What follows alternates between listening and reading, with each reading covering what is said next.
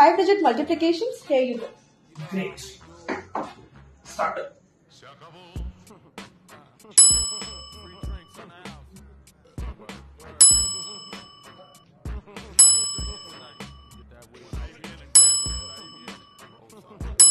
That's 13 seconds.